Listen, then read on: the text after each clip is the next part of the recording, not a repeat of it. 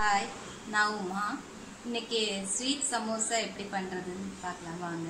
அதுக்கு தேவையான பொருட்கள். மைதா மாவு வந்து நான் இதுக்கு ஒன்றரை கப் எடுக்கிறேன்.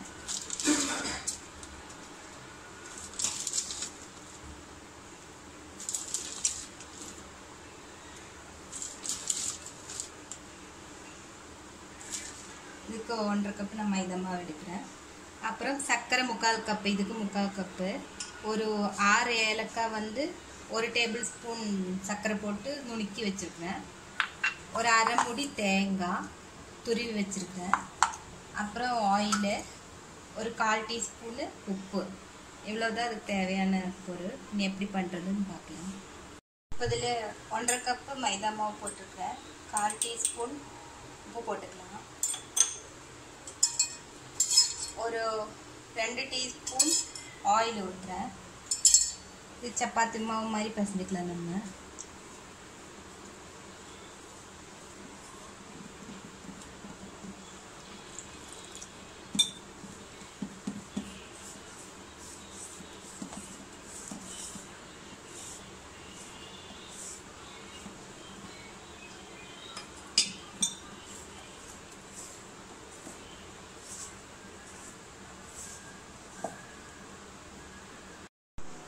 இப்போ நான் இதில் வந்து உள்ளே வைக்கிற ஸ்டஃபிங்க்கு தேங்காய் நான் ரெடி பண்ணுறேன் அதுக்கு ஒரு முடி தேங்காய் எடுத்துருக்கேன். இந்த முக்கால் கப்பு சர்க்கரை இதில் போடுறேன். சர்க்கரை மெல்ட் ஆகிற வரைக்கும் கொஞ்சம் ஃப்ரை பண்ணிடலாம்.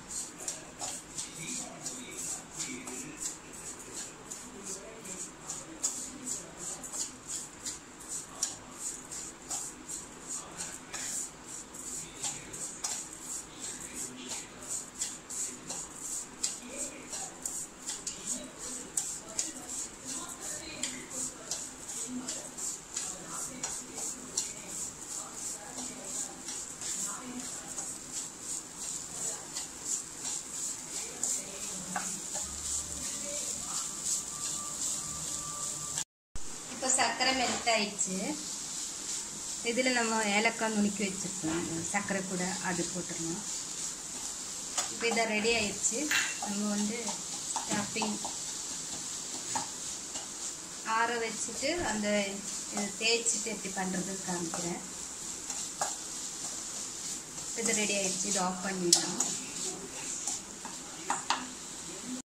மாவு ரெடி ஆயிடுச்சு. இப்போ வந்து நான் பத்து நிமிஷம் வச்சுருந்தேன். வந்து தேய்ச்சிட்டு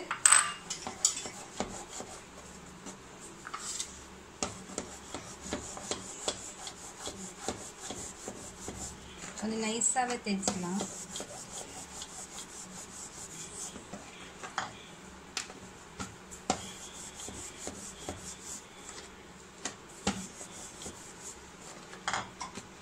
போது. இதில் பூர்ணம் வச்சுட்டு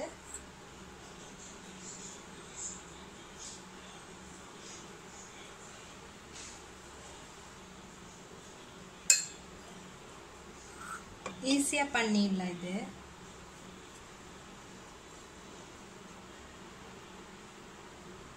ஒட்டிடலாம் நம்ம. இது மாவு பிசையறதுக்கு எனக்கு அரை டம்ளர் தான் தண்ணி தேவைப்பட்டது. ரெண்டரை ரெண்டுக்கு ரெண்டு ரெண்டரை கப்புக்கு எனக்கு அரை டம்ளர் தண்ணி தேவைப்பட்டது. இந்த மாதிரி சீல் பண்ணி வச்சோம்னா இது வந்து பிரியாமல் இருக்கும். எண்ணெயில் போட்டால் பூர்ணம் வெளியே வராமல் இருக்கும். இந்த மாதிரி பண்ணிடலாம் உங்ககிட்ட சமோசா பண்ணுற இது இருந்தால் அதில் கூட பண்ணலாம். இப்படி பண்ணி வச்சுட்டு எல்லாமே ரெடி பண்ணி வச்சுக்கலாம் நம்ம. இன்னொன்று கூட காமிக்கிறேன் நான். அப்புறம் எல்லாமே பண்ணிவிட்டு நம்ம பொ எண்ணெயில் பொரிச்சு எடுத்துக்கலாம்.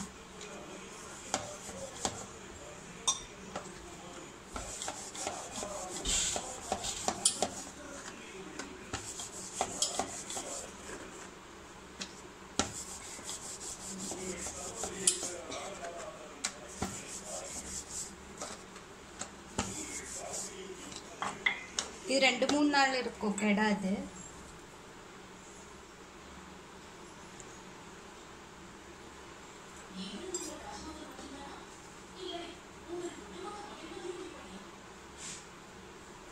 இப்படி இப்படி ஒட்டிடலாம். அப்போ பூர்ணம் வெளியே வராமல் இருக்கும்.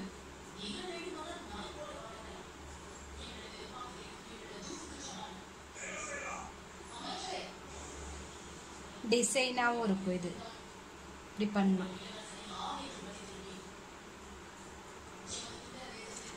இந்த மாதிரி பண்ணிடலாம். எல்லாமே இந்த மாதிரி பண்ணிவிட்டு நான் எப்படி பண்ணுறதுன்னு காமிக்கிறேன். இப்போ இது ரெடி பண்ணிவிட்டேன் நான். இது வந்து பொரிக்கல கால் லிட்டர் எண்ணெய் ஊற்றி வச்சுருக்கேன் சூடாயிடுச்சான்னு பார்க்கலாம்.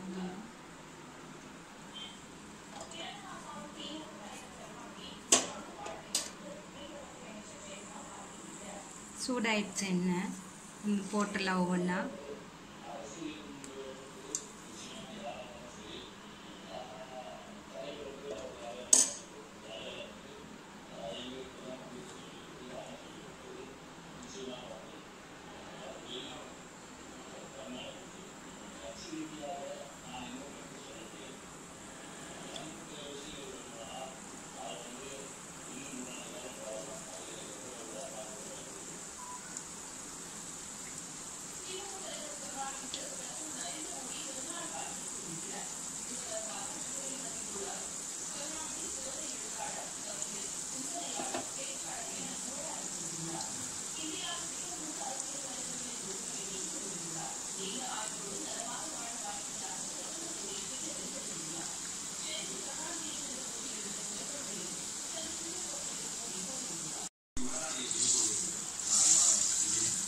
இப்போ நான் ரெண்டு மூணு நிமிஷம் மீடியம் ஃப்ளேம்லேயே வச்சுருந்தேன். ப்ரௌனிஷ் ஆகிடுச்சு இப்போ நம்ம இதை ஆயிடுச்சு எடுத்துடலாம்.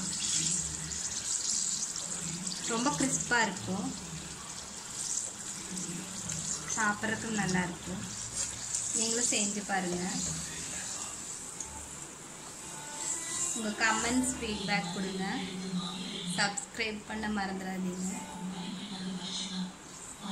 இந்த வீடியோ பார்த்ததுக்கு ரொம்ப தேங்க்ஸ் இது சர்வ் பண்ணிடலாம் நம்ம இப்போ. இன்னொரு ட்ரிப் போட்டுடலாம்.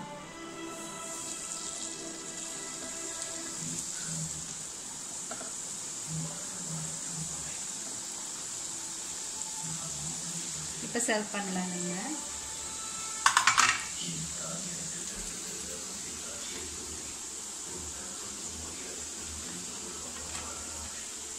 வெளிச்சம் மதியம்